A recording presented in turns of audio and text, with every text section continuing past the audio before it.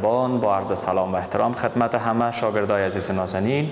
آرزو می‌کنم که خوب و صحتمند و خوش و خوشحال باشین. آرزو می‌کنم که دروس گذشته را خوب یاد گرفته باشین و همچنان درس را که خوانده ما مخته باشین و تکرار کرده باشین و همچنان فراموش شما اجزا نشه که ضرورت به یک قلم و یک کتابچه همه روزه داریم و شما اجزا باید با قلم و کتابچه درس های ما را تعقیب بکنین تا خوبتر و بهتر درس ها را یاد بگیرین. شاگردای از نازنین قبل از اینکه به درس امروز مراجعه بکنیم میریم یک بار مرور به درس گذشته می داشته باشیم دوستای عزیز که در درس گذشته ما شما با کسافت و اجسام شناور و غیر شناور آشنا شدیم. کسافت گفتیم کتلیفی واحد حجم است و اجسام شناور هم فهمیدیم که بر روی آب شنا می‌کنن. اجسام غیر شناور هم فهمیدیم که در زیر آب غرق میشن چون کثافتشان عذاب کرده زیاد است و می دلیل دوستان از این ما شما روز گذشته بالا از اینا صحبت کردیم. دوستان عزیز نازنین امروز یک درس خیلی جالب دیگه داریم که بر شما عزیزا می‌خوایم را معرفی بکنم. عنوان درس امروز ما شاگردای عزیز نازنین هدایت حرارتی و انواع آن است که حرارت به چند نوع انتقال می‌کنه انواع انتقالش. دوستای عزیز هدف ما چی است؟ که یادگیری و مفهوم هدایت حرارتی از دوستان نازنین که ما شما مفهوم هدایت حرارتی را بفهمیم که چی از دوستان عزیز؟ و یادتان باشه که باید بفهمیم که در زندگی روزمره حرارت و هدایت حرارتی چی به درد ما می‌خوره؟ اگر نباشه چی؟ اگر باشه چی ارزش داره؟ دوستای عزیز نازنین قبل از اینکه درس بر شما آغاز بکنم می‌خوایم ارزش درس برتان بیان بکنم. شاگردای عزیز نازنین شما می‌فهمین که اگر حرارت نمی بود زندگی بر ما شما موجودات زنده سخت می بود و نه تنها که بر انسان ها بلکه همه موجودات دیگری که شما در زمین می‌بینین به حیوانات به همه موجودات حتی نباتات درخت ها به حرارت ضرورت داره. بنابراین دوستای عزیز نازنین ما بر حرارت بسیار زیاد نیاز داریم.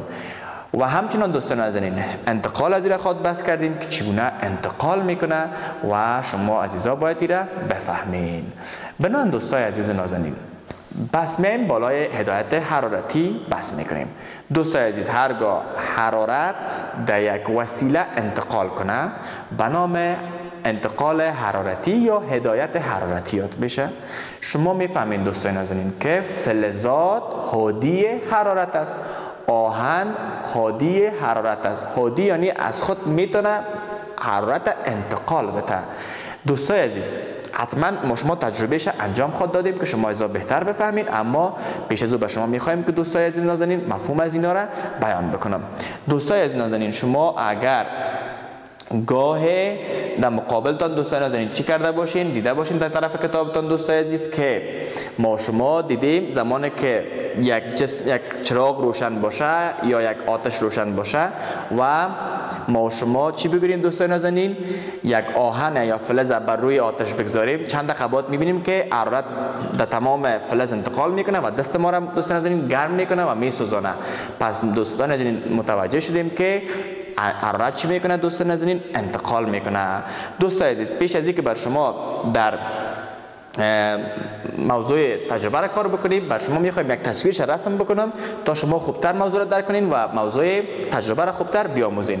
خب دوستان عزیز بیاین دقت کنید در طرف تصویری که به شما اینجا رسم می‌کنم.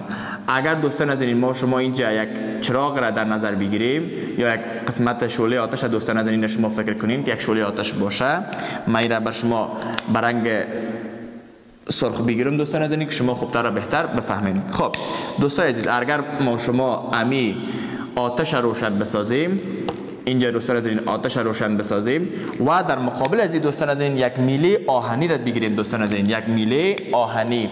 و به شما ازای برنگ آبی این میله رسم می‌کنم که شما واضح تر بفهمین. اگر دوستان از این میله را ما اینجا قرار بتیم چند لحظه بعد دوستان از این اصلا که باید اینجا داغ بیاید. اگر ما شما دوستان از این دست خود اینجا قرار بدیم در این قسمت در این قرار بدیم چند دقیقه بعد می‌بینیم که این حرارت آهسته آهسته آهسته آهسته دوستان از این به این قسمت به دست ما می‌رسه. بنابراین دوستان از این ما چی میگیم؟ میگیم که به می رقم دوستان از این اینی فلز حرارت هدایت داد. یعنی از اینجا دوستان از این از پیش آتش به دست ما چی کرد؟ انتقال داد. به می خاطر دوستان از این به نام چی می‌کنن؟ هدایت حرارتی. دوستان از این پس فهمیدیم که هدایت حرارتی چگونه صورت می‌گیره و شما اجزا خوبتر و بهتر موضوع را درک کردین. دوستای عزیز نکته جالب و مهمی است که اجسامی که بتانن از خود امی حرارت انتقال بتن به نام هادی حرارتیات میشن. اجسامی که از خود بتانن حرارت انتقال بتن دوستان عزیز به نام اجسام هادی حرارتیات میشه. چطور استاد به ما ایره بفهمان؟ دوستای عزیز اگر ما شما پیشتر جا گفتیم که اینی فلز باشه پیشتر ما شما آشنا شدیم که چی باشه دوستای عزیز؟ فلز باشه. فلز. من به شما اینجا نشته می‌کنم دوستان عزیز اگر ای فلز باشه. بر ما انتقال کرد. دوستان عزیز اگر ما یک دانه توته چوب شما یک توته چوب فکر کنین دوستان عزیز اینا یک توته چوب فکر کنین. اگر ما یک توته چوب یا پلاستیک دوستان عزیز در اینجا قرار بدم چی گپ میشه؟ اینی میسوزه دوستان عزیز. قسمت نوک ازی دوستان عزیز میسوزه. اما اینجا بعد دست گرم نمیاد چرا؟ چونی نمی‌تونه که حرارت از خود چی کنه؟ انتقال بده. بنان دوستان نازنین این یک جسم غیر هادی است یعنی حرارت انتقال داده نمی‌تونه. و این دوستان از این یک جسم جسم هادی است یعنی از خود می‌تونه که چی عبور بده؟ حرارت عبور بده یا انتقال بده. دوستان از این پس فهمیدیم که اجسام از لحاظ هدایت حرارتی به دو نوع هستند هادی حرارت غیر هادی حرارت یعنی حرارت انتقال داده نمی‌تونن. دوستان عزیز به خاطر که شما خوب مفهوم درک کنین میریم یک تجربه خوب را انجام میدیم که شما عزیزا بهتر و بهتر موضوع را درک بکنید. خب شاگردای عزیز نازنین مهم تجربه را انجام میدیم. دوستان نازنین ما یک میله فلزی داریم یک میله فلزی و یک میله پلاستیکی داریم دوستان عزیز یک میله پلاستیکی داریم. دوستان عزیز شما می‌فهمید که اینا یکیش فلز است و دیگهش غیر فلز است یا پلاستیک است. دوستان عزیز و ما اینجا بر شما وقت آب جوش هم تیار کردیم دوستان عزیز برای تجربه و آماده آب جوش قرار دادیم. دوستان عزیز اگر ما فلز در داخل از این آب جوش قرار بتم و همچنان غیر فلز یا پلاستیک دوستان از این داخل از ظرف قرار بتم و دست ما در قسمت بالا از قرار بتم دوستان عزیز. چند لحظه بعد این ما آیستا آیستا دوستان نازنین شما ببینین آیستا آیستا دوستان نازنین که فلز گرم میآید من این حال دوستان نازنین دینی دستم که فلز است احساس گرمی می‌کنم اما اینی دوستان نازنین که پلاستیک است احساس گرمی مایش نمی‌کنم اما یادم باشه اگر این از بلند کنم و اینی قسمت دست بزنم گرم است. اما به ما هدایت نداد حرارت بنابراین یک جسم هدایت دهنده نیست. هدایت دهنده حرارتی اما یک جسم هدایت دهنده حرارتی است.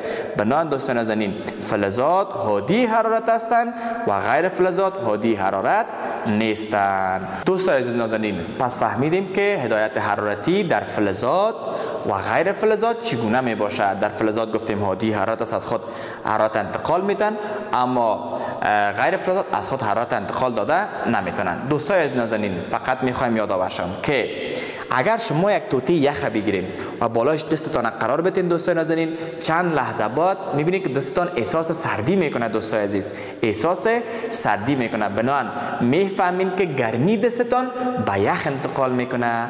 پس چی نتیجه می‌گیریم؟ خوب یک نتیجه مهم دوستان نازنین بسیار یک نتیجه مهم که ما به شما می‌خوایم اینجا نوشته بکنم.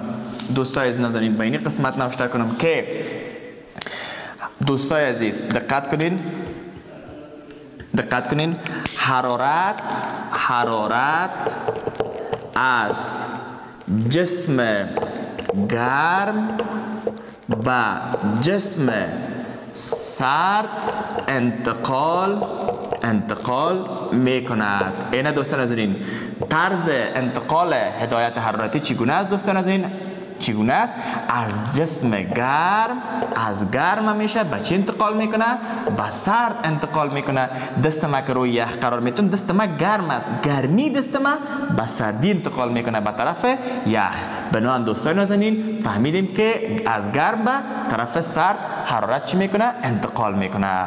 این بود دوستان نازنین که شما هدایت برقی را بفهمین که از جسم گرم به طرف جسم سرد است. من دوستان نازنین انواع هدایت حرارتی را بر شما تشریح می‌کنم که کدام انواع است انواع هدایت حرارتی.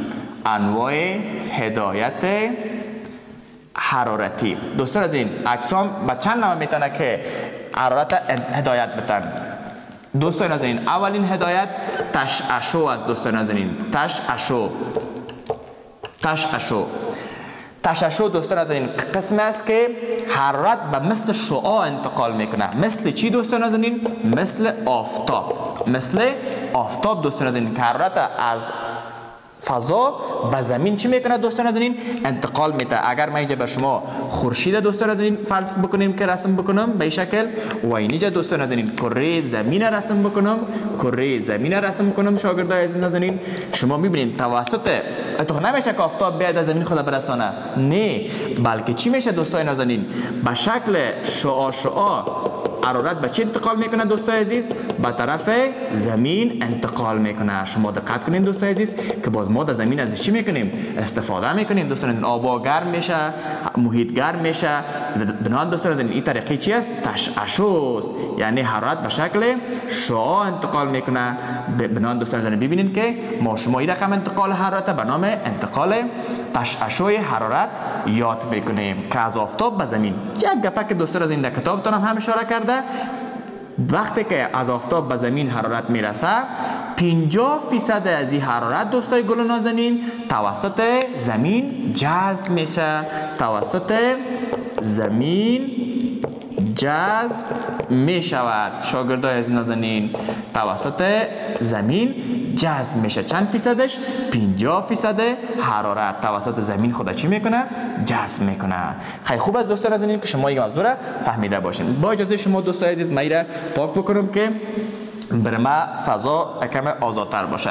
دوست عزیز دومین انتقاله که باید شما عزیزا بفهمین که ای است که دوستان نازنین انتقال حرارت انتقال انتقال حرارت دوستای عزیز انتقال حرارت با واسطه با واسطه با واسطه اجسام حادی با واسطه اجسام حادی.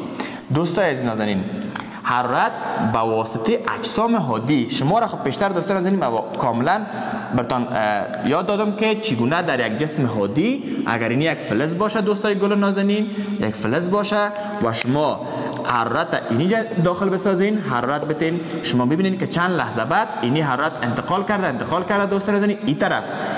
ما شما کدام چیز نمی‌بینیم. فقط اینمی هادی حرارت چی می‌کنه دوستان نازنین به این طرف انتقال می‌کنه و ما اینجا حرارت می اسم می‌کنیم دوستان نازنین که حرارت در اینجا قرار گرفته. اینی رقم انتقاله که به واسطه یک جسم انتقال کنه به نام انتقال حرارت به واسطه اجسام هادی میشه. ما دوستان از نازنین سیومین هدایتی از دوستان نازنین انتقال انتقال حرارت با واسطه با واسطه دوستای نازنین جریان جریان. چه قسم جریان؟ جریان از گرم با جریان دوستای نازنین جریان سرد. این دوستان نازنین از جریان از جریان گرم با جریان سرد دوستان نازنین. یعنی از جسم گرم با جسم جسم سرد.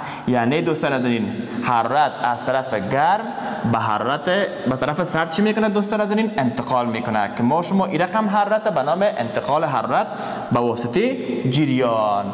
این بود دوستان از این موضوع که شما عزیزا فهمیده باشین و موضوع را درک کرده باشین.